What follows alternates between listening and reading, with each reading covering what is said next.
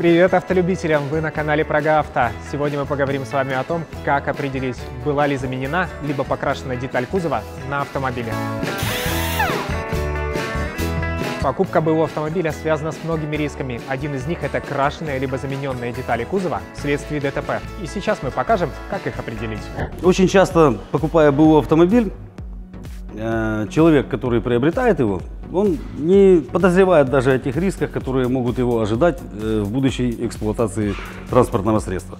Существует такой прибор, который помогает нам найти детали, которые красились, ремонтировались, либо же менялись. Есть установленные заводом-производителем стандарты толщины лакрасочного покрытия. У автомобилей Шкода параметры покрытия от 3,5 микрон до 7,5 это заводской допуск. Если же что-то меньше, либо что-то больше, здесь уже есть вопросы. Самое наиболее топовая в эксплуатации деталь автомобиля кузовная. 4,8 микрона. Это заводской слой. Дабы убедиться, что слой действительно заводской, давайте пройдемся по всей плоскости детали. Это полностью заводской слой лакокрасочного покрытия. Пойдем далее. Посмотрим на переднее левое крыло. Э, слой краски даже более чем в два раза тоньше, чем заводской слой.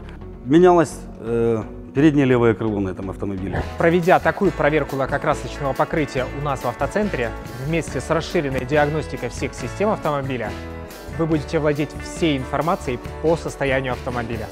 Подписывайтесь на наш канал. Если вам понравилось это видео, ставьте лайк, жмите на колокольчик, чтобы не пропустить наше следующее видео.